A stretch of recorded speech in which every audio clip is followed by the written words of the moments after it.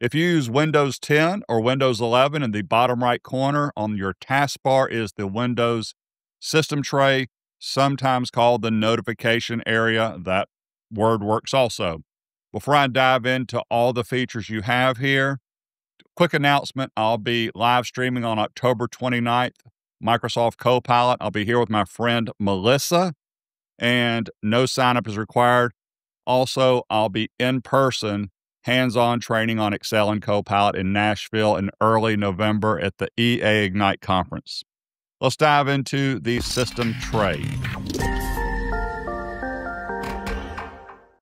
Item number one, all the way in the very bottom right, if you notice, there is my clock showing and the date. If I grab the mouse and click on it, this area is technically called the notification area. It says notifications up at the top. And then down below it is my calendar, which you can expand and collapse. The keyboard shortcut to get to the notifications area is the Windows key and the letter N for notifications. That'll always pull that up, by the way. Sitting to the left of that, I have my speaker icon, I have my network icon, or maybe your Wi Fi icon, and then also I've got a microphone showing. That is your quick access area in the system tray. You can always click on these with the mouse. Keyboard shortcut for quick access. Windows key. No, not the letter Q. Windows key and the letter A for activity. And there's my Wi Fi, Bluetooth. I'm on a desktop. That's why you do not see the battery icon. Just to be clear about this, if I was on my laptop, I would see that battery icon in here also. And then next to that, I've got some other commands, if you notice, or some other icons. I see my OneDrive sitting here in the system tray. I have this arrow pointing up and it says show hidden icons. If I click on it, there are some icons. I can quickly see what's happening.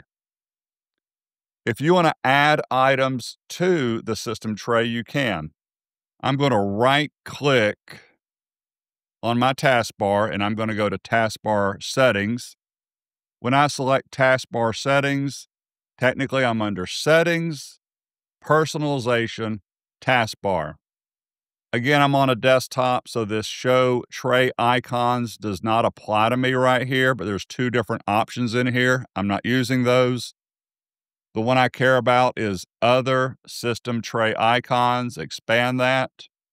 This very first box at the top, you can toggle. It says hidden icon menu. Watch this.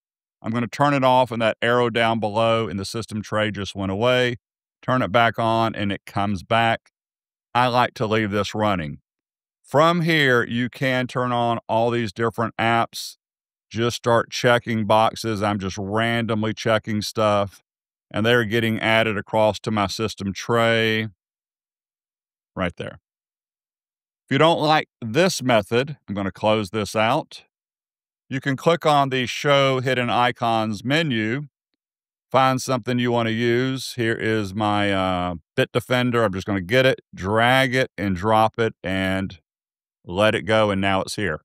When you have items here, you can move them around also, just to be clear about that. If I do not want Bitdefender or some other icon sitting here, I'm going to click it. I'm going to put it right on that arrow that was pointing up and let go. And now I've removed it. I'll do the same here. So the system tray is easy to customize. I do highly encourage you to put items you definitely need to always see down there. For example, I'm always in Microsoft 365, so I have a OneDrive for work account. That's the blue cloud. I have a OneDrive personal. That is the uh, gray cloud. I don't care if you have both. But since I'm always working in OneDrive, I like to see that my OneDrive files are syncing when I save to OneDrive. And I also like to come here and get easily to OneDrive with View Online and see my other files in here and possibly even get to my settings. So put items that you really always need to see down here in the bottom right. Maybe you need to make sure that your VPN is connected. Put your VPN icon down there because you don't want to have to spend time clicking this arrow to see something that you always need to see. Appreciate your time. My online training classes are available in Copilot Microsoft Teams, Microsoft Excel. I got three different courses. I really do appreciate your time. Have a wonderful day. Thank you.